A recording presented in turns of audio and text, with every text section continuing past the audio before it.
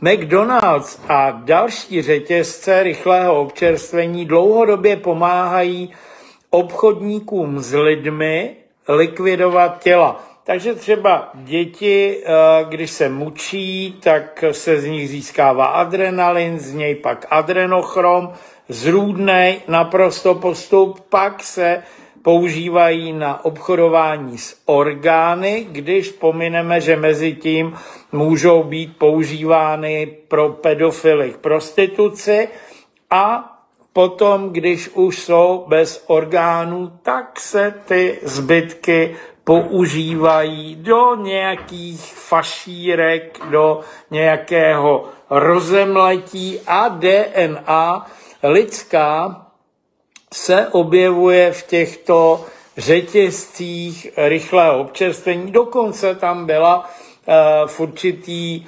uh, v určitým roce tam byla kampaň řetězce KFC, který narážel na konkurenta McDonald's, u nás víte, co jíte. Jo? Dokonce si to tam dovolili dát, protože když to rozemelete a namixujete, tak, tak eh, tam můžete mít semletý cokoliv.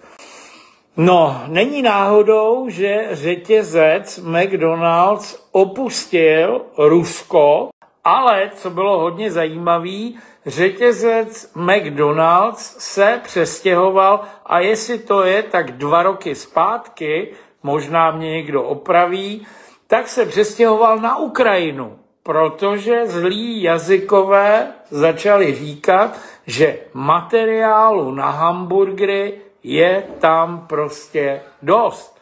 Jo? Takže i tyhle ty souvislosti jsou naprosto odporný, ale určitou logiku to dává. Existují také svobodní zednáři na vysoké úrovni, kteří říkají, potom přinášíme oběti rituálů do našich obchodů. Jo? Takže se to zužitkuje. Jo? Takhle v podstatě. Američtí regulátoři potravin nalezli lidské maso na 90% míst při kontrolách továren a restaurací McDonald po celé zemi. To je ve Spojených státech. Ale myslím si, že v Evropě to vůbec nemusí vypadat jinak.